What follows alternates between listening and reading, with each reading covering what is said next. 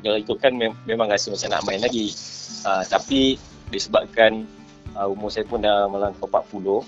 So saya rasa uh, untuk meneruskan saya uh, dalam passion saya dalam bola sepak ni uh, maknanya saya perlu memasuki ke arena bidang jurulatih lah.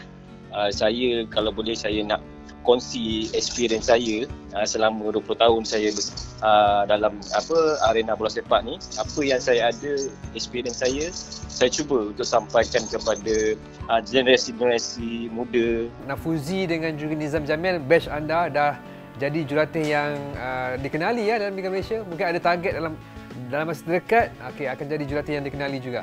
Bagi saya dia adalah saya punya uh, cakap apa mentor uh, maknanya saya tengok uh, macam mana dia uh, boleh dengan apa orang cakap uh, umur yang muda kan dia boleh handle dia boleh jadi seorang jurulatih yang bagus uh, so saya memang saya ada pasang uh, cita-cita saya untuk menjadi macam mereka lah. sepanjang main bola apa pengalaman yang tak lupa sampai sekarang ah. Tim yang paling the best bagi saya adalah Swansea tahun 2001. Sebab tim tu kekal uh, sehingga menaikkan nama cakap apa bawah 23 tahun kan. Abang suka bergandingan dengan siapa di bahagian pertahanan? The best and partner is uh, Khairul Nisab. Yang kita sama-sama main dengan, dengan jaga masa yang lama. Selepas tu generasi muda lah saya bergandingan dengan Aidil. Uh, this, uh, ni antara-antara pemain-pemain yang serasi dengan saya. Idola dalam jurulatih ni siapa bang?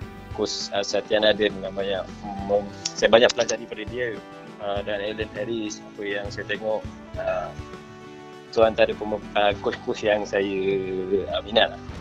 Luar negara? Luar negara uh, is a Pep Pep Guardiola. Pep Guardiola ah.